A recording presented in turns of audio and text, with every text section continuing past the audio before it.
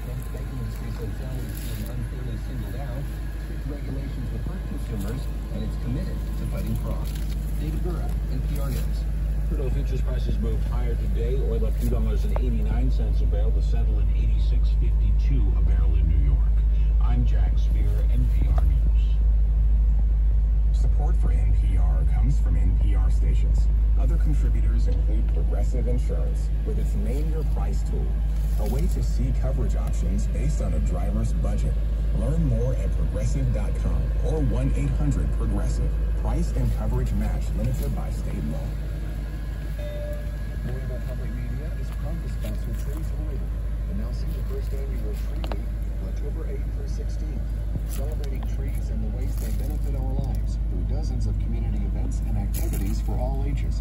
More information on Tree Week at treeslouisville.org.